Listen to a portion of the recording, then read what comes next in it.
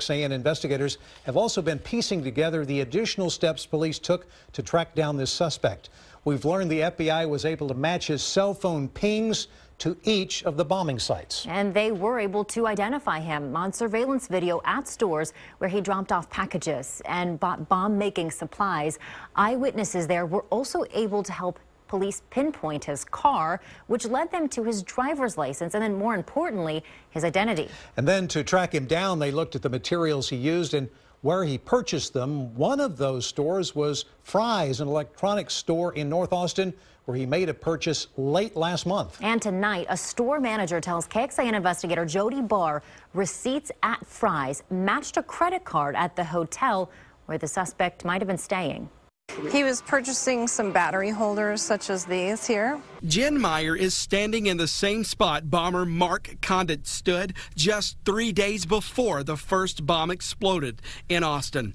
This February 27th surveillance video from Fry's Electronics shows Conditt walk into the store and purchase more than 20 electronic parts. Conditt spends nearly 20 minutes inside before paying for the items and walking out the door. So the ATF comes in with a subpoena in hand. What were they looking for from you? They were looking for any invoices that we may have um, and any purchases or surveillance video that we may have on him. What did those invoices show was purchased here? It showed approximately 20 small components. Um, again, the battery packs and um, some other resistors and stuff of that nature. Is this an odd purchase at the time? Is this something that people would just um, ordinarily purchase?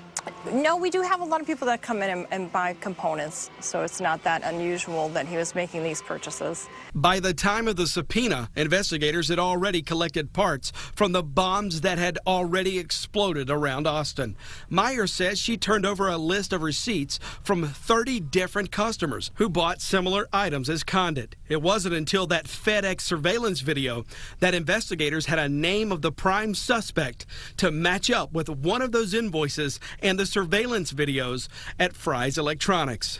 Did the investigators ever clue you in that, hey, some of these components may be involved in this bombing investigation? Yes, they did tell us that. When you watch that video back again, this just looks like any ordinary customer interacting with your employees here, checked out at the register. Nothing looked out of place.